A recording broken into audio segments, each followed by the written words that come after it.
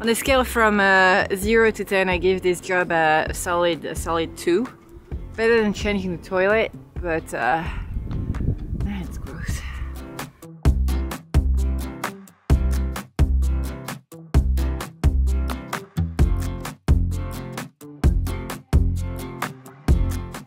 This video starts on the day after the last video ends when we left the boat with massive problems to uh, put our through holes in, uh, no insurance that we can launch the boat before the end of April, and, uh, and bad weather. Uh, which is which is bad for us because we need to have good weather to apply our new anti-fouling. So things are not going great, but hey, the spirits are up. The spirits up today, Ryan? They're better than yesterday. It's been years since I can remember like that I was that frustrated. Happens when you try to change through holes. through holes will do that to you. So when a boat project goes awry, a lot of times when something goes wrong, it's because uh, you find out about something else that needs to be fixed while you are taking care of the project. Barney, it's okay. Oh yes, daddy's coming back. I promise you. So what we realized yesterday is really that we are lacking the proper tools to do the work and we're not quite sure what those tools would be. Uh, and also we actually need to be a few more people to, uh, to carry out that project su successfully. Thank God for Jane and Mark who came and gave us a couple of extra pairs of hands. Uh, we're back to square one and we're probably gonna have to buy new skin fittings and redo everything that we have done. But you know what, hey, today the sun is shining. Uh, we're going to the boatyard. It's gonna be, it's gonna be nice. It's not gonna be what we expected, but we're gonna make it work. No good day at the yard starts without a trip to Home Depot and West Marine. Okay, Ryan, what are we looking for here? It is uh, 10 a.m. on a Sunday. Uh, we haven't even made it to the boat yet and we've already spent about 200 bucks. Life's great.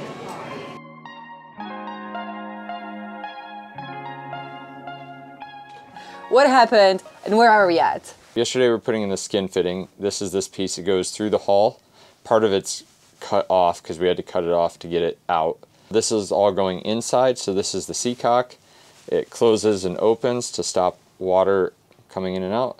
And then this goes up to a barb, which you can't see because it broke off, which connects to a pipe that goes into the boat. We had two problems. The first is we put the skin fitting on and we really had a hard time getting the tools in there to tighten it up.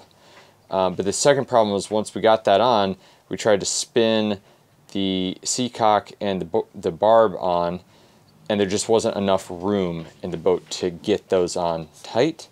So we kind of have them half on now, and the issue is now we can't even get them off. So they're like stuck. so we have to undo what we've done. Yeah. And we had... I'm going to try to do it without taking out the skin fitting. But if we have to take out the skin fitting, it means we need to cut the, the brand new one off, which sucks. So I'm just going to take a look at it right now and see what, if anything, we can do in here. I was so frustrated yesterday that maybe, maybe there are some things we can do it is really hard to know what to do or how to deal with the problem when you've never done it before. Uh, and so yesterday was a big moment of uh, learning by doing. The one thing that is frustrating is that uh, a lot of the systems of the boat were installed before uh, the walls and the rooms uh, and the cabinets of the boat were installed. So I am pretty sure that the sea seacocks and the through holes were installed before the cabinets that surround them and that makes it extremely hard to replace them. Failing through hulls are the reason why, a big reason why boats sink. So it really isn't something that can be messed around with. It's something that makes us nervous. Uh, and so it has to be perfect. There is no alternative. It has to be perfect. We have to be able to trust our through hulls. Oh, but Barney. Hi, Barnacle.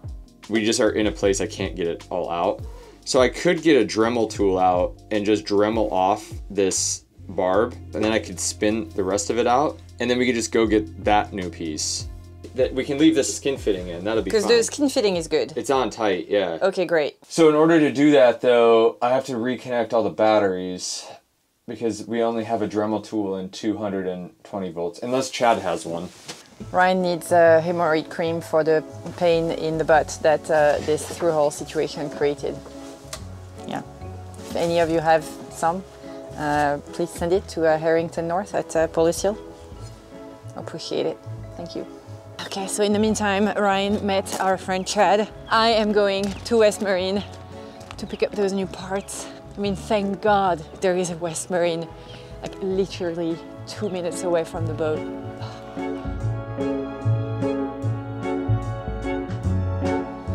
This is our aisle. All right, so this is brass. We need bronze. Okay. I think I found it. It's like this, this thing. Uh, yep. Okay, so we're getting that. And then, and then the pipe uh, that looks like this. Yeah. Oh yeah. Yep. Is that three quarter? Well, that's what it says. Yeah. Then that's it. There was another 50 bucks. what a great day. Ah, beautiful weather. Yeah. Oh yeah.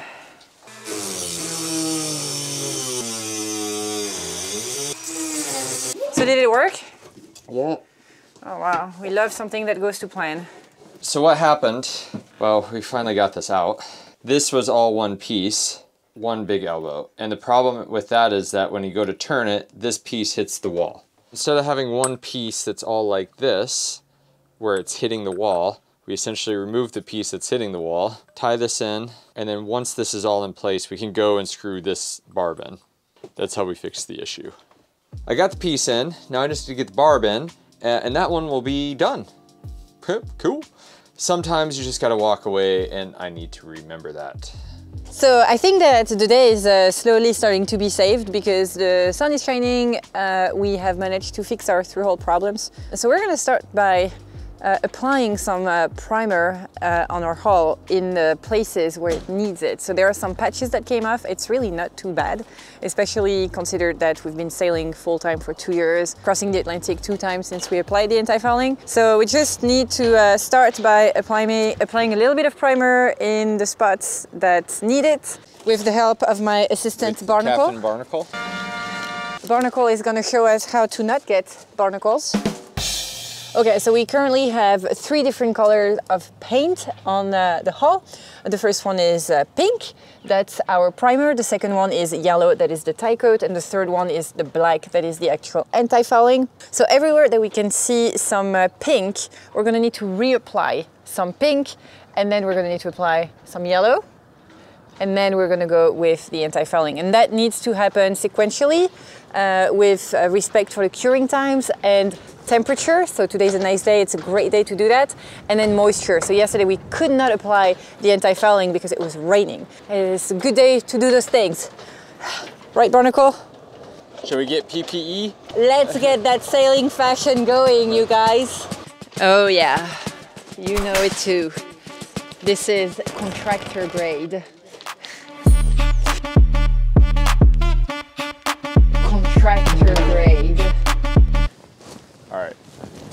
Feel hot. It's because you got 15 layers on. So we have the primer and the curing agent that we need to mix. So to make sure that I miss no spot, I'm gonna work from uh, stern to bow. Okay. So let's do this, you guys. So according to Hempel, it's okay to go a little bit over the black too. So we're gonna do that. We're gonna go a little bit over the black.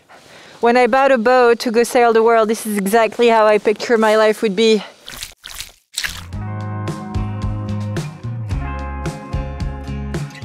We are now applying the tie coat. The tie coat is the yellow paint that you see, and I am going to apply it on top of the pink spot that I just painted.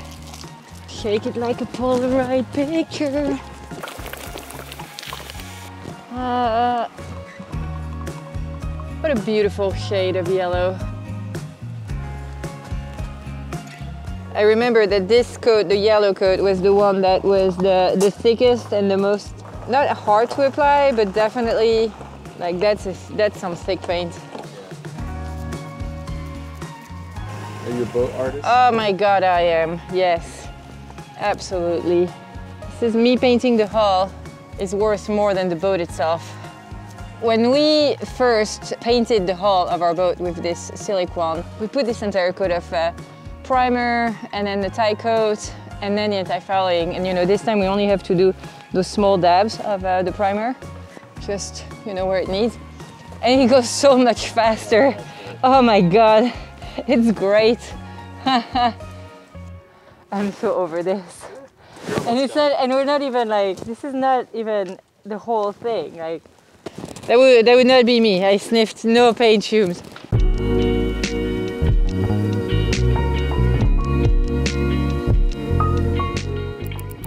Okay, out here on day two of the paint job. Uh, looks like it's raining. It did just rain. I think that was the end of it for the day, so it's a little bit later in the afternoon. But what we have to do before we get going with the big paint job is take the shrink wrap off and then put some tape around the borders to make it look nice because we want it to look nice. So that's gonna take a while. And in the meantime, I think the rest of this rain will get out of here. It will dry up. The temperature is actually supposed to go up. So it should be good. Let's see. Sophie thinks she's the only one that can PPE. I was the one that taught her the dance skills. Ooh, wrong way. Cool.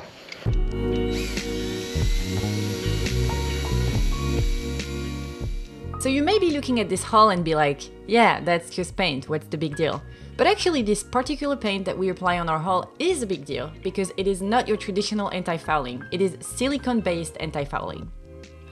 Traditional anti-fouling paints, whether that is soft anti-fouling, hard anti-fouling, or copper coat, work by releasing one or more biocides via the surface of the paint, essentially killing anything that attaches to the hull of the boat. Depending on where in the world you sail, you will have access to more or less extremely toxic anti-fouling. Because, uh, yeah, you guys, uh, anti-fouling is not good for you, and nor is it for the marine environment. On top of that, your hull still needs to be cleaned if you end up spending a lot of time on anchor or at the dock, because without drag on the hull, barnacles will still attach. No, not that barnacle, those. So a couple of years ago, Ryan and I decided to go over to a silicone-based anti-fouling, and it has changed both our lives and our environmental footprint. These special paints work by creating a slick coat on the hull where barnacles simply cannot attach. It contains no biocides and is so much less toxic than, well, uh, paint that is designed to actually be toxic. I kind of feel like a beauty influencer when I talk about it, but I just can't say enough good things about this paint. Instead of having to spend hours each week scraping our hull, we now just take a cloth and wipe the slime that forms on the hull, and that takes 10 minutes. The only downside to it is that, well, uh, it's technically not available yet in the United States, but we may have heard that it could change somewhat soon, so yeah, uh, you didn't hear that from us.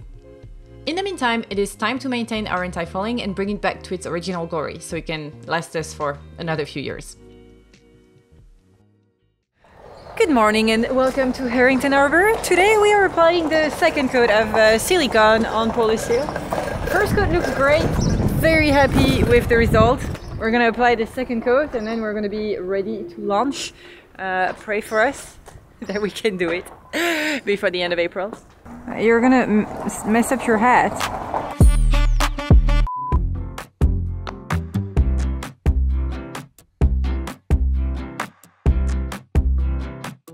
On a scale from uh, 0 to 10, I give this job a solid, a solid 2. Better than changing the toilet, but uh, it's gross. Looking good, Ryan. But she looks good. This was just the paint. I need to wax the hull. We are going to do a electrical refit kind of a refit light, refit medium on the boat. I want to do that when the boat's in the water so I can get things on and off and work a little easier. So I'm going to connect all the batteries so once we get it in the water, we can move it to where it's going to go for the next month, hopefully if we get in the water quick enough. So I got to show you a few things. These are actually the Dakotas. These are 135s. They're also a starter battery, so we're going to use one up here this is a lead acid starter, this one. Uh, it's 95 amp hours and it's bigger than these guys, the 135s. I have never gone through a winterization or a summerization as we did in Curacao without having the bow thruster batteries go bad. And I do not understand why it is. I just took the voltmeter to this and I was getting like two volts. So they're pretty cooked. But lithium holds a charge for a long time. So the Dakotas that we had in our house bank charged those up before we left about 13, 2, 13, 3 maybe uh, volts. Let's see where they're at. 13, 2. So yeah, they held it all winter. So yeah, I'm just gonna connect these, get some power on the boat, uh, and then we'll get it moved and take all this out, clean it up, because it needs it, and uh, make it spiffy and diffy. Yeah. There we go. Now, connect this end. It's important to make sure all the Jubilee clips are on. I can't get this out. That's fucking amazing. All right. So we need two more clips. Last one in the process of taking out the old one. I'm sure it will show up eventually. You should always use two of these Jubilee clips below the waterline. I only have this much turn and this is off a little bit. And it's a really thick hose. I remember the last time I did it, it was a pain in the booty. Come on, come on. It's so close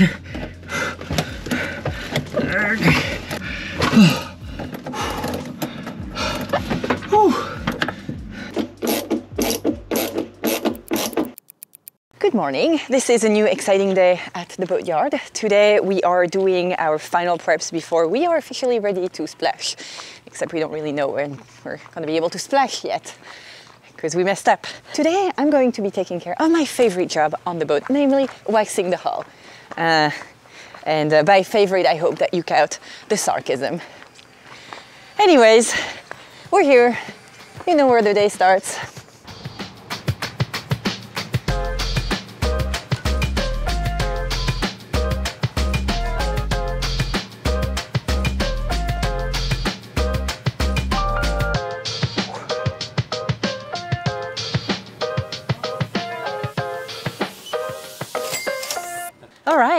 Let the party begin.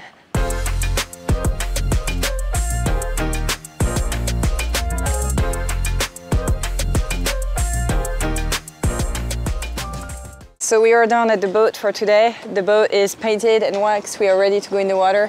This is the moment of truth where we go to uh, Harrington Harbour North office and very nicely ask the ladies if uh, we can splash, if we can uh, be on the standby list, take some on spot and uh, go earlier than in four weeks.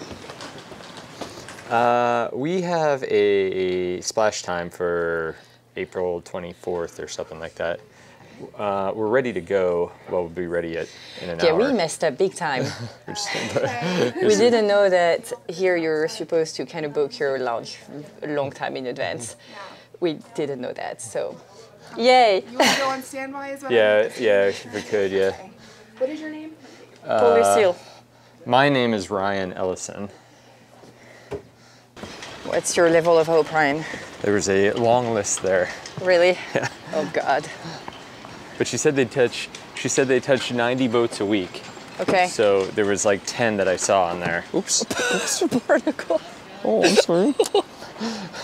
Okay, so it is officially the end of yard work for this time around. Uh, is ready to go. We have uh, secured everything on board so that uh, she would, you know, be able to go in the water safely. Uh, unfortunately, the way that the standby list works is that uh, they're only going to call you when the boat is in the water. So it's a little bit nerve wracking. We're not going to be there to uh, check on the Seacock as soon as the boat hits the water uh, when they launch her. but that's, that's how it is. Hopefully in our next video the boat is in the water. Uh, we have no idea. Um, pray for us.